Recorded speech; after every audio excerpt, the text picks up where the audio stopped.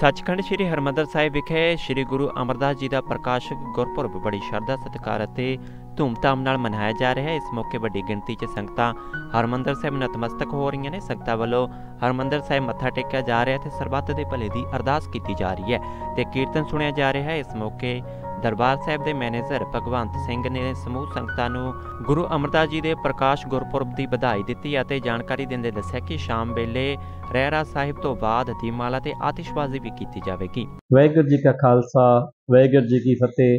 ਸੱਚਖੰਡ ਸ੍ਰੀ ਹਰਮੰਦਰ ਸਾਹਿਬ, ਸ੍ਰੀ ਦਰਬਾਰ ਸਾਹਿਬ ਵਿਖੇ ਅੱਜ ਧੰਨ ਧੰਨ ਸ੍ਰੀ ਗੁਰੂ ਅਮਰਜਾ ਅਮਰਦਾਸ ਜੀ ਦਾ ਪ੍ਰਕਾਸ਼ ਗੁਰਪੁਰਬ ਬੜੀ ਸਰਧਾ ਤੇ ਸਤਿਕਾਰ ਨਾਲ ਮਨਾਇਆ ਜਾ ਰਿਹਾ ਹੈ, ਜਿੱਥੇ ਗੁਰਮਤਿ ਸਮਾਗਮ ਕੀਤੇ ਜਾ ਰਹੇ ਨੇ।